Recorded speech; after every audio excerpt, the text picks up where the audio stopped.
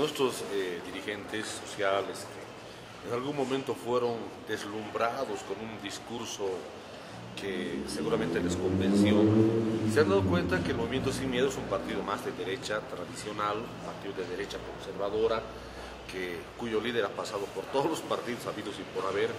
y pues por eso están volviendo al movimiento al socialismo. Nosotros creemos en el derecho a la redención que ellos tienen y con mucho gusto les damos la bienvenida y les vuelven al redil. Es igual que el hijo pródigo que se va, pero vuelve al seno de donde ha nacido.